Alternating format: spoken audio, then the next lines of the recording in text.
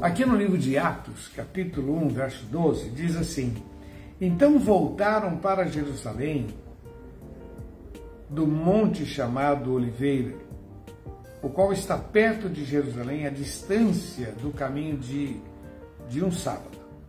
E entrando, subiram no cenáculo, onde habitava Pedro, Tiago e João, André, Filipe, Tomé, Bartolomeu, Mateus, Tiago, filho de Alfeu, Simão, o zelador, Judas e Tiago. E todos estes perseveravam unanimemente em oração com as mulheres e Maria, mãe de Jesus, e com seus irmãos, em nome de Jesus. Tá bom? Vamos orar. Pai, muito obrigado pela tua palavra, pedimos graça. Livra-nos do mal, Senhor. Nós precisamos de ti, em nome de Jesus. Amém, Senhor. Amém. Queridos, quando eu meditava nesse texto hoje, Deus falava muito comigo sobre essa expressão. Então voltaram para Jerusalém. Eles tinham acabado de ter uma experiência monumental né, com Jesus, não só a conversa, e Jesus disse para eles que eles seriam cheios do Espírito Santo e seriam testemunhas de Jerusalém, Judéia, Samaria, até os confins da terra, mas tiveram a experiência também de ver Jesus subindo ao céu. E aí ficaram ali meio atônitos, né, olhando para aquela situação, tipo, será que ele vai voltar? O que, que vai acontecer? Quer dizer, realmente uma coisa assim estrondorosa, fabulosa. Quer dizer, você está conversando, começa a subir na tua presença, né? Ah, tipo levitação, começa a subir, subir, de repente vê uma nuvem, cobriu e sumiu. O texto diz que dois anjos chegaram ali e disse, varões galileus, o que vocês estão fazendo olhando para o céu? O mesmo Jesus que vocês viram subir, ele há de voltar. Então, é, é, foi assim um momento de muito, foi um impacto, um impacto, uma coisa assim assustadora. O texto diz assim: então voltaram para Jerusalém. Eu diria, depois de tudo, depois de tudo que eles viveram, eles fizeram três coisas que para nós é muito importante a gente compreender. A primeira delas, eles voltaram para Jerusalém. Jerusalém para nós representa a presença de Deus, representa a igreja de Jesus, representa a obediência, representa o centro da vontade de Deus. Lembra que Jesus disse: Ficar em Jerusalém até que do alto sejais revestidos de poder. E eles fizeram isso. Depois dessa experiência, eles voltaram. Por que, que isso é importante, meu irmão? Porque, infelizmente, determinadas pessoas que têm uma experiência, por exemplo, os dez leprosos, dos dez leprosos, só um voltou para agradecer. Os outros tiveram a sua experiência e bastou ali, acabou ali. Foi aquilo, e ponto final, acabou. Acabou, foram curados e vida que segue. Muitas vezes as pessoas, por uma experiência, ela acha que ela chegou no ápice com Deus. Tem pessoas que por uma experiência já acha que é boca de Deus. O cara que já quer dar palpite, já quer falar, já se sente como um teólogo. Tem pessoas que não se sujeitam mais a um pastor por causa de uma. Tem gente, meu irmão, que por causa de uma experiência espiritual falou em línguas, profetizou, ele já se sente, como, como diz um amigo meu, ele já se sente a quarta pessoa da trindade. Quer dizer, o cara já se sente muito grande. E o que a gente aprende nesse texto é que depois destas experiências, depois dessa experiência marcante, eles voltaram para Jerusalém. Porque, na verdade, meu irmão, se você tem uma grande experiência com Deus, você ainda terá outras grandes experiências com Deus e outras grandes experiências com Deus.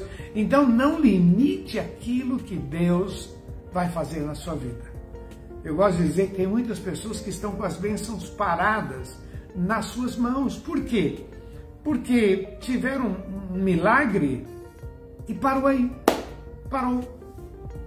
A pessoa não desenvolve, ela não melhora eu me lembro quando eu comecei a aumentar meu dízimo, já estava dando um valor, não, não sei se eu estava perto de 20%, e um camarada chegou para mim e disse assim: é, você está dando esse valor, tal, tal, tal. Mas se você quiser voltar a dar 10%, você pode, não pode? E eu disse, posso. Mas eu não quero, eu quero ir para o 21, eu quero ir para o 22, eu quero avançar. Muitas vezes nós paramos no tempo, paramos e não desenvolvemos. Olha o que eles fizeram, depois de todas essas experiências, de ver Jesus ressurreto, de conversar com Jesus, almoçar com Jesus, jantar com Jesus, depois de passar esses 40 dias com Jesus, Jesus é elevado aos céus na presença deles, depois de tudo isso, voltaram para Jerusalém, porque ali é onde Jesus determinou que a bênção iria fluir. É na igreja, na obediência, é no relacionamento, é, é, é nesse, nesse, nessa vontade de servir a Deus, é voltar para Jerusalém, é humildade, é temor a Deus, é, sabe, meu irmão, aquilo que Deus começou a fazer na sua vida e vai fazer coisas muito maiores, mas preste atenção na atitude desses homens. Voltaram para Jerusalém. Segunda questão que eles fizeram, que eu acho tremendo, o texto diz que eles perseveravam. Versículo 14, todos perseveravam e eram unânimes. Perseveraram. Primeira, primeira parte desse versículo, essa primeira parte dessa palavra perseveraram, significa assim, tiraram a, toda a ansiedade do coração, aquietaram o coração na presença de Deus, perseveraram diante dele. Esperar com paciência no Senhor, crer no poder de Deus. Meu irmão, isso é um ensinamento tremendo. Acalmar o coração, é você dizer para você mesmo: calma, calma, espera no poder de Deus, é na hora certa. Calma, calma, porque vira e mexe a gente está debaixo dessa adrenalina, a gente quer avançar, a gente quer fazer como a gente gostaria que tudo fosse para ontem. Ontem o pastor Rogério ministrando, algumas vezes ele disse assim: ah, o dilúvio durou 40 dias, mas sair da, da arca foram quase um ano. Quer dizer, o, o dilúvio ou, foi 40 dias, resolveu, acabou, acabou. Tudo aquilo que o Senhor disse que queria fazer, 40 dias ele fez, acabou. Vamos começar tudo de novo. Só que levou um ano para eles saírem da arca. Queridos, nós precisamos entender que quando a gente aquieta o nosso coração, o texto diz que eles perseveraram, unânimes voltaram para Jerusalém. Quer dizer, não é hora de você partir, é hora de você parar, se aquietar na presença de Deus. Não é hora de você tomar atitudes, é hora de você crer no poder de Deus e aquietar o teu coração. Foi o que eles fizeram.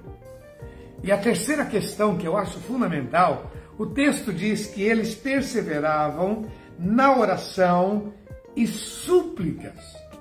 Sabe quando eles estão dispostos a pagar um preço, então vamos orar, vamos, vamos clamar a Deus, vamos pedir a Deus direção, vamos pedir que o Senhor guie os nossos passos, vamos pedir que a graça do Senhor venha sobre as nossas vidas, vamos buscar a Deus para que a gente não atrapalhe, para que tudo aconteça segundo a vontade dele, oração e súplica.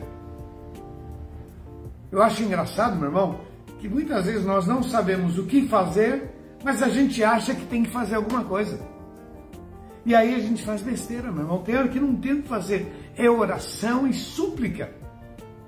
É derramar o teu coração na presença de Deus. Na hora certa veio a resposta. Na hora certa veio o poder. Na hora certa veio a ousadia. Na hora certa veio um novo tempo sobre a vida deles. Isso quer dizer, meu irmão, que na hora certa o Senhor moverá os céus sobre a sua vida em nome de Jesus. Vamos aprender, independente de tudo que você já passou. Jerusalém, a igreja, a obediência, o centro da vontade de Deus, é o melhor lugar para se estar.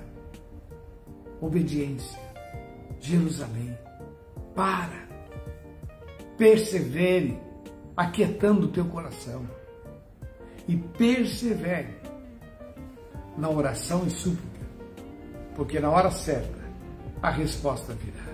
Na hora certa o poder de Deus se manifestará na tua vida. Na hora certa a ousadia vai te cobrir em nome de Jesus. Na hora certa virá um novo tempo sobre a sua vida, virá um Pentecostes, virá um milagre na hora certa. Calma, tranquilize-se em nome de Jesus. Tá bom, queridos? Que Deus abençoe. Receba essa palavra, por favor. Ela é de Deus para abençoar a sua vida. Então fizeram.